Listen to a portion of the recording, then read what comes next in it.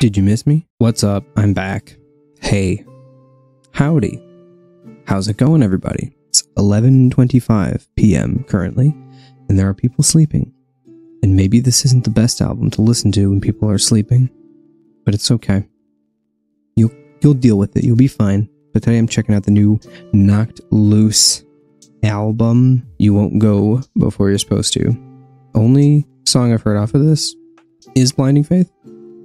I got a video on that if you want to go check that out. Let's check out this album. Only 27 and a half minutes, so it's not that long, which is about a good length for a Knocked Loose record. I don't think there's lyrics to any of these besides, I don't know, maybe some of the, maybe some of the singles, but we'll see. So I'm just going to keep this here. Uh, I'm too lazy to put something else here, so deal with it. Let's go. Track one.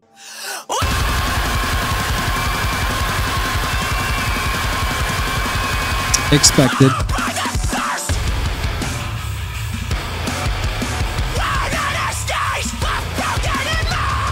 Yep, it, it is. It's knocked loose.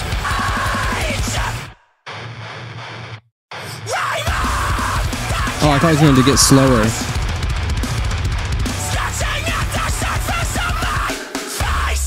Now it gets slower. Here's the breakdown. It's like a delayed breakdown. my left ear is ringing. I don't. I don't think that's part of the song. I think my ear is just ringing. Okay, I mean, I mean, what can I say about that? It's uh, the title track. I mean, not a title track. It's an. I've been out of the game for a month. Uh, oh, oh, oh, I need to get back into this. That's that's an intro track. Yep, that is the intro track to a Knocked Loose album. That's about how I expected it to go. Let's keep going. I don't even know why I have my keyboard. Like, am I really going to need it? Ooh. Yeah, it's about as expected. Nothing crazy, but it's good. Here we go. Now you now you start punching things. Classic knocked loose. Yeah, it's it's okay so far. It's knocked loose. I mean, it's only two tracks, so it's like the beginning of the album. Uh, there's nothing really that stands out to me. Blinding Faith had that cool like ding ding ding ding with like the the the snare tap thingy that was like really really cool in the beginning. Um, and then it had that and like later, but I there's not really anything here that stands out to me. It's Just kind of like, yeah, this is this is knocked loose. Uh huh. Yep. The, here comes the breakdown. There it is. Yep. Yep. Punch some things. Yep. There we go. So I don't know. Maybe that will change as we get into some of these other tracks. Actually, I did hear one quote unquote spoiler. Somebody said the outro was good. That's all I heard. I don't remember if I've heard anything about this. Like specifically, like what Poppy does. I'm assuming she screams on this album because she's done screams before. I'd be surprised if they were cleans.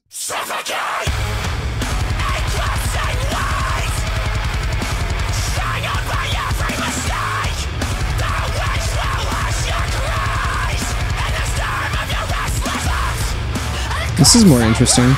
Yes, Poppy. Yes.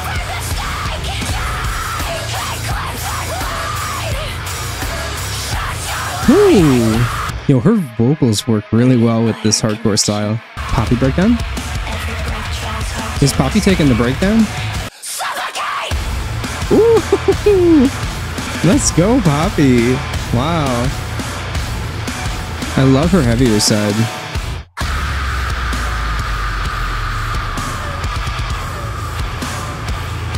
Oh. That's disgusting. It's- kind of it's kind of bouncy. Kind of got some groove to it.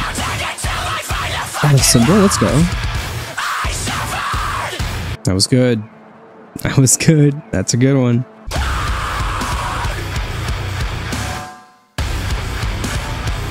I like little silence breaks in this one.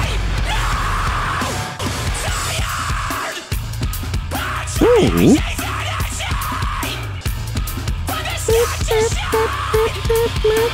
That snare sounds like a barrel, like a like a, a metal barrel.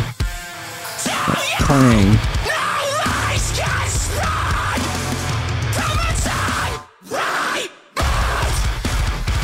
Ooh. Did not expect a, a pick it up breakdown. Are we getting slower now? Yes. Yes, we are. So so far, I think the last two tracks were were better. The poppy one is my favorite of the newer ones. I think Blinding Faith still clears all of them musically. Um, but it's not it's not bad. It's just just knocked loose. I mean, this kind of stuff like this sort of hardcore like this and and Boundaries, which I'll, I'll listen to that album soon too. Um, but they're never really something that I would put as like my favorite albums of the year, favorite albums of all time, or anything like that. They're just they're they're just solid albums that I put in like the yeah these are these are good kind of tier.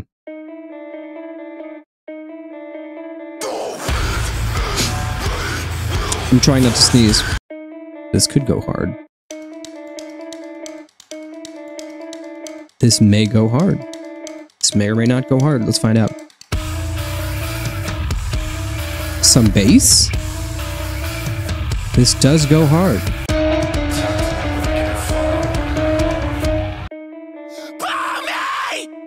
Oh, bro, come on.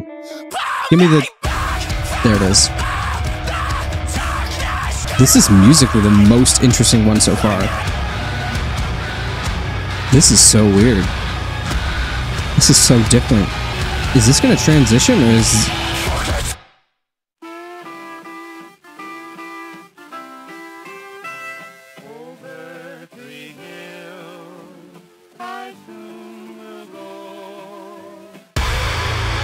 Okay, okay, okay. All right, all right. We can Slaughterhouse 2. Uh, the, dare I say my favorite song? That was very weird and very experimental for them, and it it paid off. That was that was a very interesting track. I mostly just love it because of how weird it is. Some stuff sort of happened, and then it kind of felt like it was building, but then it kind of crunched the build up and ended, and then it shifted to like Fallout Radio for a second some like yeehaw Appalachian folk music. I love Appalachian folk music, by the way. That's one of my not not really guilty pleasure genres because I don't feel guilty about it, but like something that I don't widely broadcast to everyone that I listen to. I'll put on some like like some of that mountain country music from the 1800s. I'm like this this goes hard.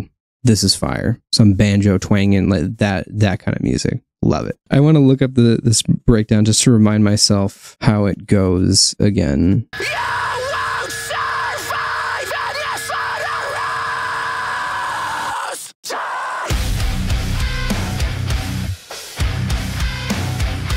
And then there's like the yeah, the little squelchy sound at the end. Classic. By the way, Masterpiece is probably the best song on this album. Slaughterhouse 2, let's go. No lyrics. How does it compare?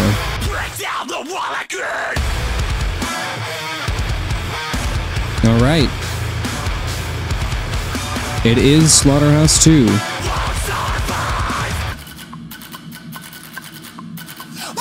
Ooh, they got the click track in there?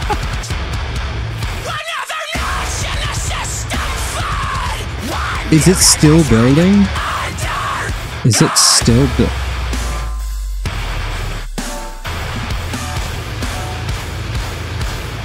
Nice.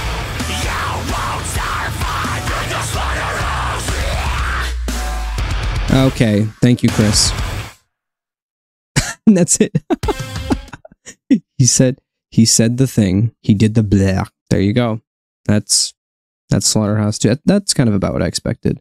I think they, um, they being motionless in white, they kind of did a similar sequel song thing with uh, Undead Ahead, and then the the second one like had a very similar breakdown. I I think it had a very similar breakdown. It's been a while since I've heard those two songs, so now I guess they're continuing the the sequel song thing. That was that's good.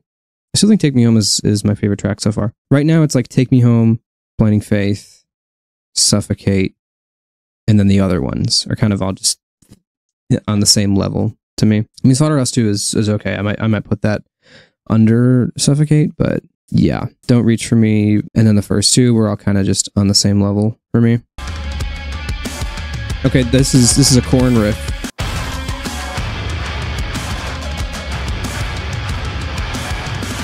Nice. This is different. I love the different stuff. I love when they do different stuff. Because I feel like Loose is very predictable. See, now we're back to the predictableness, which isn't bad, but sometimes I want something a little more.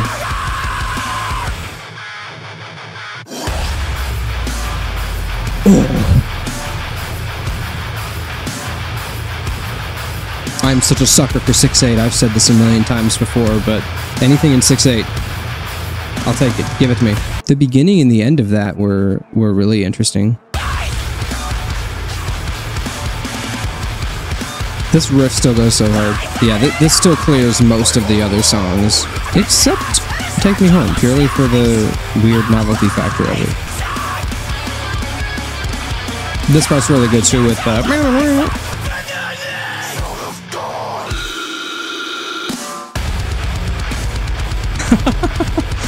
oh, it's so good.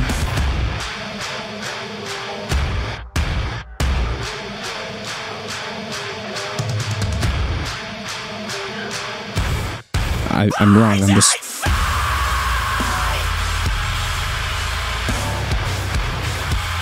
I tried to show off by showing that I know the song, but I, I don't, apparently. A moment of calm in a knocked loose record? I swear, I almost said locked noose again.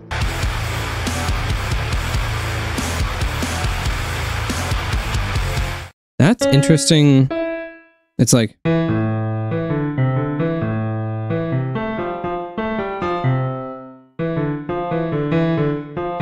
Something, something like that.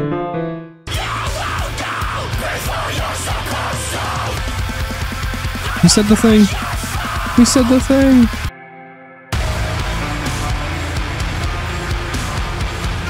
Nice.